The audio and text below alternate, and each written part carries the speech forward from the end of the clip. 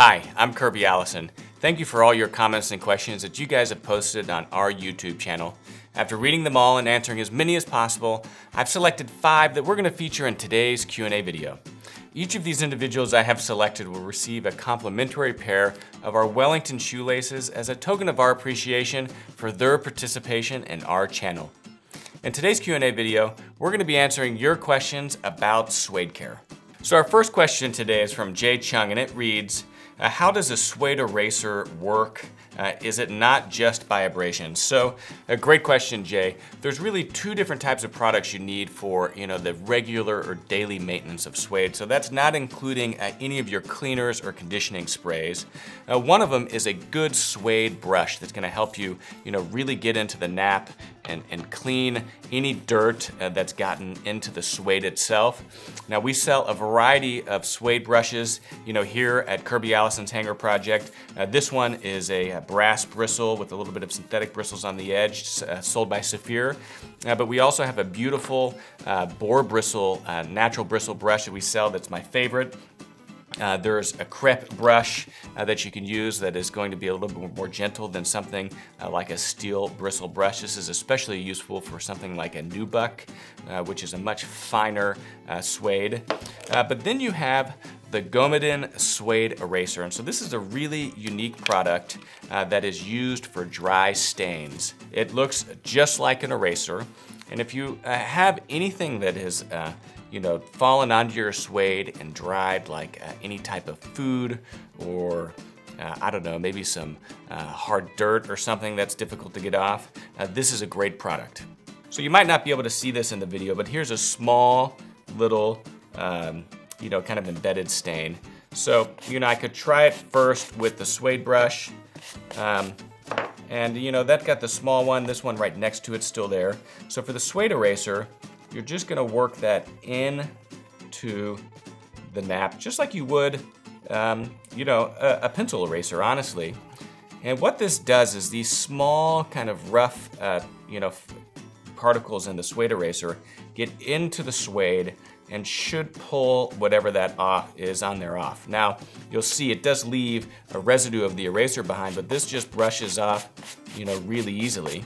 Uh, and you can see I really kind of have removed for the most part uh, what was there. So uh, the suede eraser, you know, isn't uh, an essential uh, part of suede care, uh, but it's certainly a nice product to have. Here's another stain, you know, right here. You know, as you can see, I'm using the suede brush. Really doesn't get that off. So the next step would then be to use the suede eraser. And again, you want to think of the suede eraser not as a daily care, uh, but as really more of kind of like a spot treatment, occasional care. So I'm gonna work this into the suede. For those of you that are wondering what shoe I'm using, this is a pair of my Alfred Sargent um, Cap-Toe Oxford Semi-Brogues. Beautiful shoe, uh, dark brown suede. God, I get so much use out of this.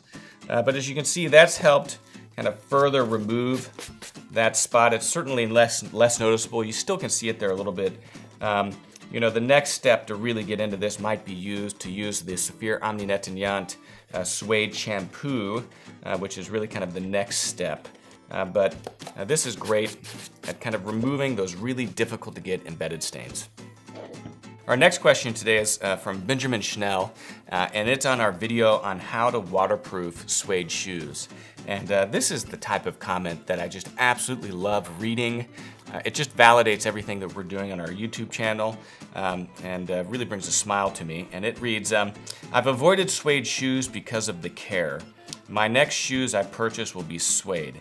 I think you should do a video on leather briefcase care, which we've done, and uh, a presidential briefcase shine. So uh, great suggestions. Um, and you know what I love about this comment is that you know a lot of people shy away from wearing suede shoes because they don't know how to care for suede. They think, you know, uh, suede shoes get dirty really quickly and after a year of regular use, my suede shoes look terrible and I have to throw them away, so why would I invest in a really high quality pair of suede shoes?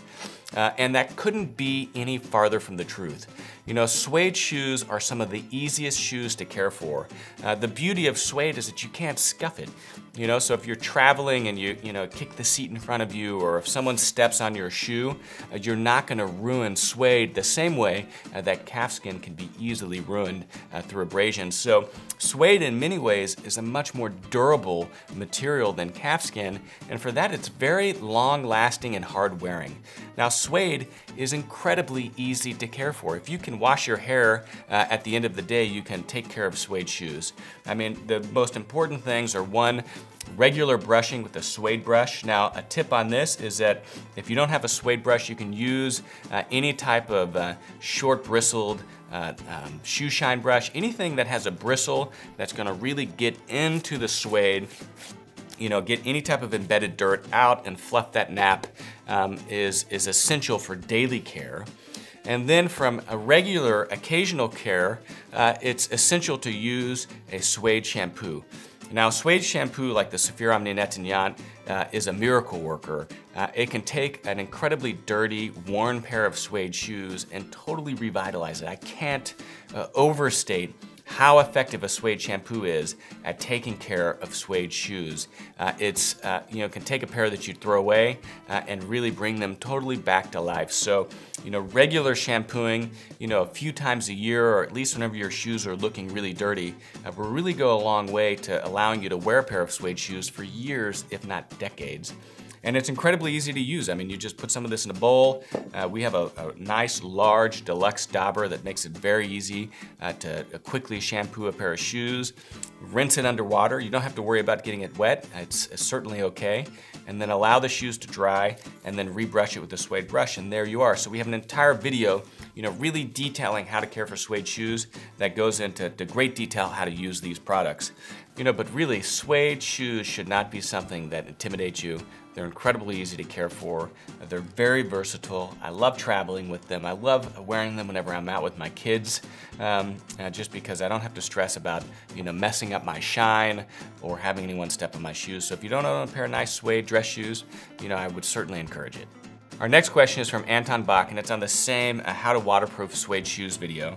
And it says, Dear Mr. Allison, uh, on, the on the renovating spray, it says uh, that it also causes the material, in this case suede, to become water repellent. Uh, would you say that the Renovateur spray is uh, not enough and that the Saphir Super Invulner should be applied? So there's two different products, uh, aerosols, that are really dedicated to kind of advanced suede care. Uh, and here at Kirby Allison Hanger Project, you know, these two products really go a long way towards, uh, you know, advanced suede care, if you will. Now, they're different products. So this is the Saphir uh, Renovateur for suede and nubuck, uh, and this is the Saphir Super Invulner. Now, the Saphir Renovating Spray, you know, you want to think of this as an alternative, you know, to you know, basically a Pommadier cream polish. Uh, this has an almond oil in it. It's gonna help nourish the suede. It's gonna renew the, the nice soft patina or the slight shine that you get on a beautiful pair of suede shoes. Uh, and then what's nice is that it also comes uh, with various in various colors. Now it's not as many colors as with the Saphir Pommadier Cream Polish, uh, but the pigment uh, helps renew uh, the, the color saturation in a pair of suede shoes. Now, I think there's three or four different colors we have, uh, and you want to think of this as not really needing to be an exact match, but a close match because uh, the pigment in this, because it's an aerosol, uh, is really transparent, and so it's not going to change the color of suede shoes. It's really just going to merely tint the color uh, and bring in, you know, kind of that background, any type of fading you might have. So uh, I recommend the renovating spray uh, really for regular maintenance. I mean, every you know few months, uh, take your shoes uh, into the garage or outside, spray it down. Uh, it's gonna help, you know, uh, again, you know, really nourish the suede, keep it soft and supple. It's gonna renew that nice, soft little shine. And it's also gonna help, you know, bring back the color a little bit. Now this might provide a little bit of waterproofing, uh, but really, you know, the waterproofing product that we sell uh, is the Super Invulner. Now this is uh, really great for high-end shoes because it doesn't contain any silicone products and is slow drying. Now you honestly want a slow drying waterproofer because if it dries too quickly before it has an opportunity to soak into the suede, it can cause white rings to form. And so any type of, you know, nano protector or any type of really you know, Scotchgard or anything that you would find commonly at the store, you know, that dries in minutes, you absolutely do not want to use that on a really high quality pair of shoes. Now, what's nice about the Super Invulner is that uh, it really it'll waterproof anything. I mean, you could spray it on your calfskin shoes if you wanted to. Uh, you can also use it on uh, fabric slippers. You know, I use it on my son's boots. Um, so this is a great product and this is really gonna provide that water protection uh, that uh, is so necessary for really any pair of shoes, but especially suede shoes, because unlike calfskin, you're not putting any wax on top of the suede, so it's not gonna get any of that waterproofing, you know, that a cream or a wax polish would traditionally bring a pair of calfskin shoes. So I highly recommend it. Uh, it'll really, again, help um, help extend the lifetime of your shoes. Another great property of the Saphir Super Invulner is that it's not permanent. Now that might seem a little bit counterintuitive, um, but you want this to wear off. So once the water stops beating uh, on top of the suede, it just means that the product is worn off uh, and you want to reapply it. Now the reason that's important is that I've actually sprayed this, uh, what is it, the, uh, the Tarrago Nano Protector on a pair of suede chukka boots. I would never use it on any of my fine suede shoes, but you know, on a pair of boots that I'm you know, wearing to go hunting or something, I've used it on. And it's so effective that whenever I went to go clean the shoes using the Saphir Omni Nettoyant suede shampoo, I couldn't even get the water back into the suede. It was really incredible. Uh, you know, I had to take ammonia and uh, on a cloth and rub the shoe down in order to pull the Saphir Nano Protector off. So, you know, Nano Protector, it's a miracle worker. It's great for like a pair of hiking boots, uh, but I would never use it on a nice pair of shoes because it'll also prevent you uh, from going back over the shoes and properly shampooing them. So another great thing about all of our suede uh, and nubuck cleaning products that I've discussed here, with the exception of the brushes, is that they can also be used on fabric slippers, right? So suede, nubuck, and textiles. These are a pair of my Foster & Sons grade slippers, uh, and you know, I can shampoo these, you know, with the Saphir Omni Nettoyant. Uh, I can waterproof them with the Super Invulner. Now you wouldn't use the renovating spray, but again, a lot of these suede products can be used to clean fabric slippers also. Our next question today is from uh, Shin Ku, and it reads, Hi Kirby, uh, which between the crepe brush or the bristle brush would you recommend for cleaning full grain leather shoes with the suede upper quarter inserts? You know, for example, a Bal Balmoral boots uh, with suede inserts. My Carmina Cordovan boots are exactly what you're talking about. Uh, since the suede quarters are sewn right next to the full grain leather, uh, how would you clean and condition that section without impacting the full grain leather section? So a great question. This gets into a little bit of advanced suede care. You know, first and foremost, uh, you know, traditionally on a pair of dress boots like that, uh, you have a much finer nap uh, to the suede.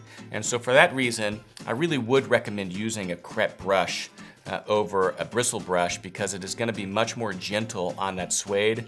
So any type of sueded nubuck or any type of really fine sueded calfskin that again doesn't have you know kind of a large, um, a larger kind of more robust uh, nap pattern. You want to use the crepe brush. This uh, operates in much the same way where you're going to brush the suede. And what's nice is because the gumminess of the, of the crepe, it actually helps, again, pull some of that dirt off. Now, uh, in the same way that you wouldn't want uh, to use a shoe shine brush that you just buffed a pair of uh, black shoes on a light brown pair of shoes. With the crepe brush, you really you know need one of these for your dark shoes and one of these for your light shoes. I mean, you wouldn't want to just clean a pair of dark brown suede shoes and then take this same brush to a light brown pair of shoes because you could get some dye discharge uh, onto that lighter colored pair of shoe. So uh, absolutely, I, I, would recommend going for a crepe brush for any type of finer grain suede than a bristle brush. Now the next question with regard to cleaning uh, is that you still could shampoo um, you know, the suede using uh, the Nettoyant, you just would need to be more careful. Maybe you use a smaller uh, bristled dauber to help you better control where that is. You know, I'd probably have like a small washcloth or something to help prevent this uh, from getting onto the leather. Now this won't damage the leather, but you just would want to keep that shampooing, you know, really onto the suede. Uh, but I wouldn't worry too much because, it, again, it won't damage the leather. I mean, in the same way uh, that a saddle soap wouldn't damage the leather. Uh, and then if you want to use any of the sprays, you know, um, again, you could take a, a washcloth and just simply place that on top of the, the smooth leather uh, and then spray these products uh, onto the suede part of your shoe and that would work fine. If you have any questions about that shin, feel free to ask them in the comments section below or post the pictures on Instagram and tag us, and that's another way I can provide some help to you. Our last question is from uh, Packy, and this is on our how to condition a leather belt video where we conditioned an Allen Edmonds uh, calfskin belt. Uh, and it says, uh, how would you clean a nubuck belt? I have a nubuck belt that's beautiful, but if I ever get it wet, it's ruined. Uh, I touched it with wet hands once and it's still stained to this day. Any way to renew suede and nubuck after getting it wet? Or would you just stain the whole item with water so that it matches? So a great question. Uh, you know, I love nubuck belts. You know, it's a beautiful, soft, kind of suede texture. Uh, and again, I would clean a nubuck belt uh, the same way that we really do our suede, just with the exception that I would use a crepe brush, uh, you know, to brush it. Uh, but the Saphir Omni Net again, it's safe for suede and nubuck. So, you know, if you ever discolored your belt because you got some oils onto it from your hands, uh, I honestly would just shampoo it with the Omni Net uh, and then brush the suede. I mean, you could always condition it using the renov renovating spray. and of course, you could waterproof it with the Super Invulner uh, all of these products would be completely safe to use uh, on your nubuck belt. So uh, those would be my suggestions. And uh, I would bet that if you were to actually try to use the Saphir Omni Net you'd probably get that stain that you left on the belt whenever you touched it off. So feel free to post some pictures on Instagram. I'd love to see what you're talking about. And let us know how these products work in the comment section below. Once again, I'd like to take a moment to thank everyone for their comments and questions. It's your engagement on our YouTube channel that make these Q&A videos possible. Not only do these Q&A videos give me an opportunity to answer in greater depth a lot of the questions that I'm already answering, uh, but they allow me to take a moment to just acknowledge my appreciation for everyone's involvement in this channel. I cannot overstate how much I've absolutely enjoyed this platform and how it's allowed me to connect more directly with all of you. I really have fun interacting with you all and answering your questions. I read all those questions and comments personally and really do enjoy getting back to them as many as possible. All of these products that we discussed in today's video can be found on Kirby Allison's Hanger Project. Uh, we appreciate your support. It's how we support this channel. So if there's anything that we can do to help you take care of your wardrobe, luxury garment hangers, luxury shoe care, and other accessories for the well-dressed, please visit us at hangerproject.com. And of course, we have links to all these products in the video description below. If you enjoyed this video, give us a thumbs up and please subscribe to our channel and turn on your notifications by clicking the bell to the right of the subscribe button so that you can learn whenever we release new videos. If you have any questions or comments about anything we discussed on this video, please ask them in the comments section below. And of course, please visit hangerproject.com where we have the largest, most comprehensive collection of luxury garment care and shoe care accessories in the world, as well as many other incredible products for the well-dressed.